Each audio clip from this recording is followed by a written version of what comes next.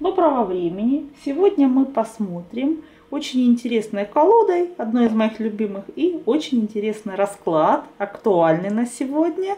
Это расклад, посвященный затмению Солнца, да?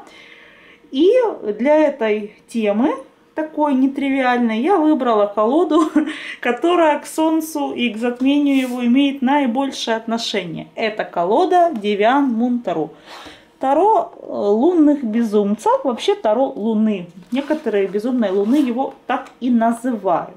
Итак, я вам покажу, как работать с этой колодой на этот расклад. Вы можете с любой другой колодой попробовать этот расклад, либо можете импровизировать и составить свой. Я буду смотреть, конечно же, на себя любимую. Мне интересно, что мне лично это затмение даст и как, и что именно, и в каком размере. Итак, основное влияние, первая позиция, которая окажет на вас, это затмение.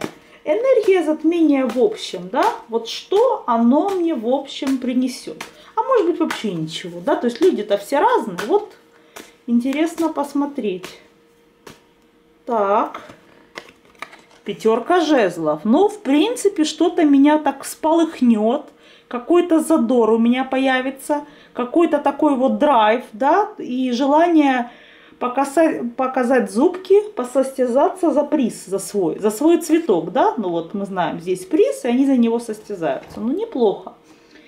Так, дальше, влияние солнечного затмения на мое здоровье. Ну, голова у меня болела, и я думаю, это не только у меня.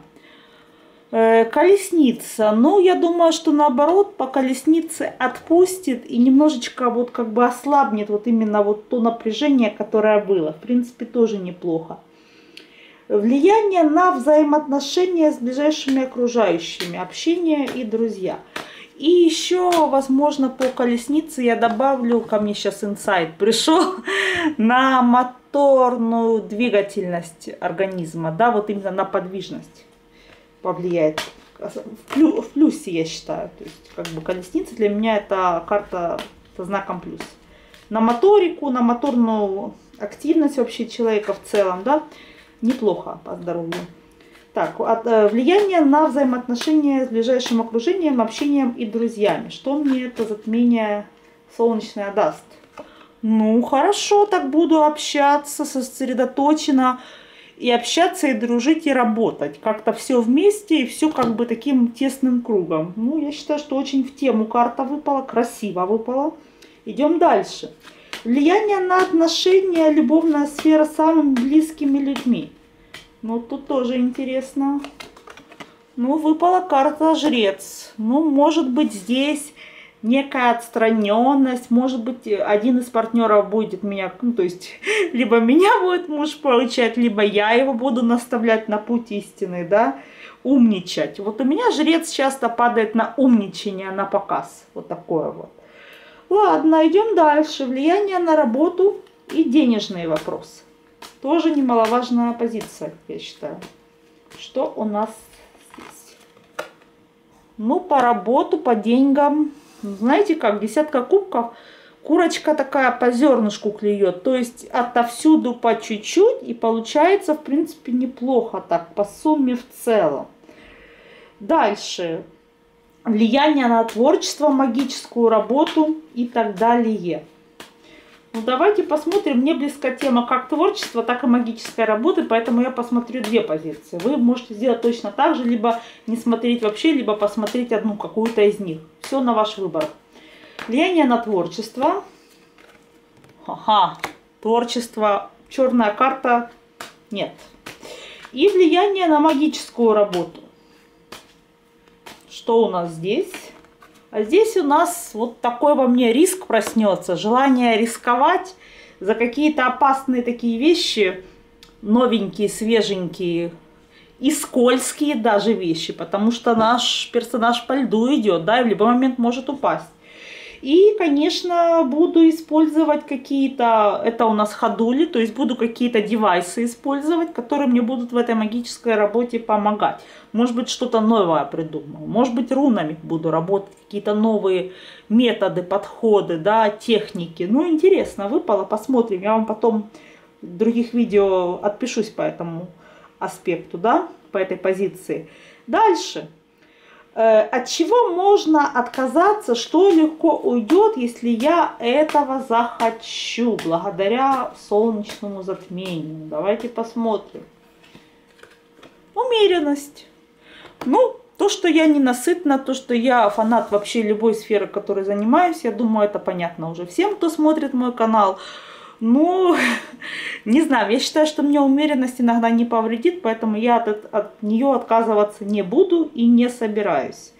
Вот. Хотя, может быть, в вопросах диеты, которую я пытаюсь следовать, но у меня плохо получается, может быть, да, может быть, я могу отказаться от каких-то ограничений, которые себе ставлю в еде, например. Вот. Какие энергии можно притянуть и развить в себе э, в этот период за счет солнечного затмения? Да? Вот что можно к себе вот сейчас вот так притянуть? Какие энергии? Ну, что я могу сказать? Двойка кубков это, конечно, хорошо. Это, конечно, привлекательность, да, для людей противоположного пола. Э, возможно, так как у нас сейчас все-таки весна, может быть, поработаю, поставлю некоторые маячки привлекательности для, ну, кому это нужно, да, то есть именно в сфере Амура и в сфере любви какие-то энергии могу притянуть. Ну, посмотрим. Посмотрим, как оно будет, да. И что еще интересно, эта карта вообще похожа на затмение Солнца. То есть вот белая, и черное, да, вот это вот затмение, вот тут очень хорошо. То есть ночь, она однодневна, она уходит, а смерть, она вечна. Ну, интересно выпало, на мой взгляд. Вот. Ну и, в принципе, вот на этой карте затмение Солнца, вот оно, собственно, так и выглядело, как здесь указано. Ну, посмотрим. Я думаю, этот расклад... А я еще сейчас спрошу, будут ли мои э, зрители моего канала этот расклад пробовать. Ну, по карте влюбленные, я думаю, будут и неоднократно разные варианты его разновидности. Ну, если вам понравился расклад, пишите комментарии, пишите, что у вас выпало на позициях. Я приложу письменный вариант внизу. И буду ждать вообще ваше мнение о таких тематических раскладах. Что вообще вы о них думаете? Насколько нужно их делать и насколько они могут нам дать новый интересный срез в гадании. И если кто-то захотел сделать этот расклад у меня, то можете обращаться на платной основе. Я с удовольствием вам его сделаю. Большое спасибо всем, кто посмотрел мое видео, кто для него взял что-то полезное.